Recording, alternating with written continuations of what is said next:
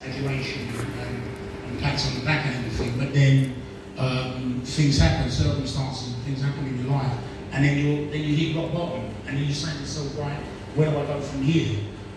Where do you go from here? A lot of people, what I have now found out, a lot of people take that step and and go and uh, suicide, you know, which is a very, which is an like like. Um, it's a very um, an important issue that of seems like it's not tackled, but then all the issues behind that suicide and behind people taking their own lives, we don't look at the steps that, that took them kind of failed to see this. Um, so again, going back to me and understanding that I was really, really there. And people go, but you're so strong, you're so big and strong, you've got all these things happening around you. But yes, you might have this face that smiles at everybody and everything seems to be going right. And as soon as you go behind closed doors, you're lonely and depressed and, and you are just that kind of vulnerable person. And that's what I, uh, I was able to learn about me. Um, but again, so moving forward now, I'm, I've been able to be involved with working with young people in gangs, crime, working in working in um, prisons where you, where I see people that have suffered depression and understanding and trying to understand their journey and knowing that we all of us, every single one of us have a story.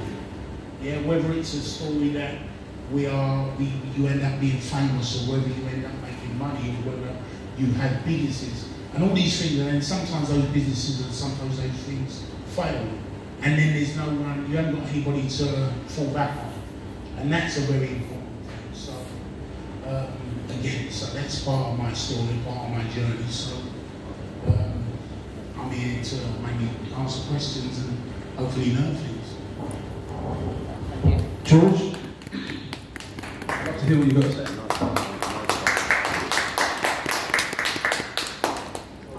Yeah, my name's George Hilliard, um, as most people know, I'm an official boxer, and uh, my journey's been slightly just like these gentlemen here, but my, my journey's been a bit, I was this big prospect, um, signing a 15 million pound contract deal with Matchroom Sport.